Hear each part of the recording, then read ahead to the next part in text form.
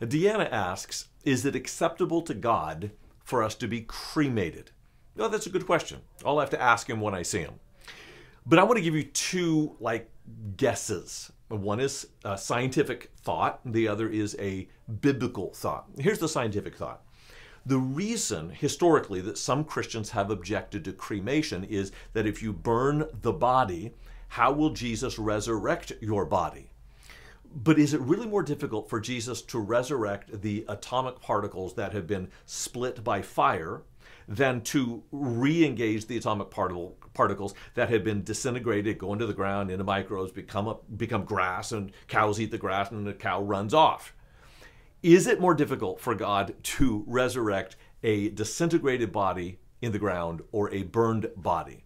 I, he's God. He can he can do either one just as easily. And in fact, this is my second thought.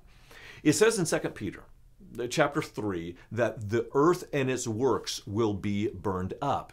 And specifically in chapter 12 and 13 of 2 Peter 3, it says that there will then be from the old earth a new heaven and a new earth. If you take that literally, then the particles burned in the old earth will be created or recreated into a new heaven and a new earth. So at least we have a model. Long, long, long answer made really short. I think it's okay. If you found this video helpful, uh, could you do me a favor? Just hit the like button, or, or even better, share it with a friend.